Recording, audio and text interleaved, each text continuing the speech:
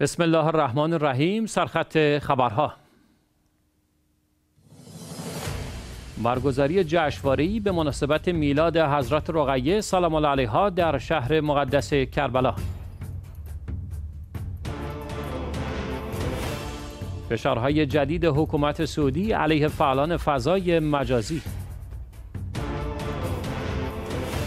رنج بردن دو میلیون و 740 هزار کودک یمنی از سوء تغذیه.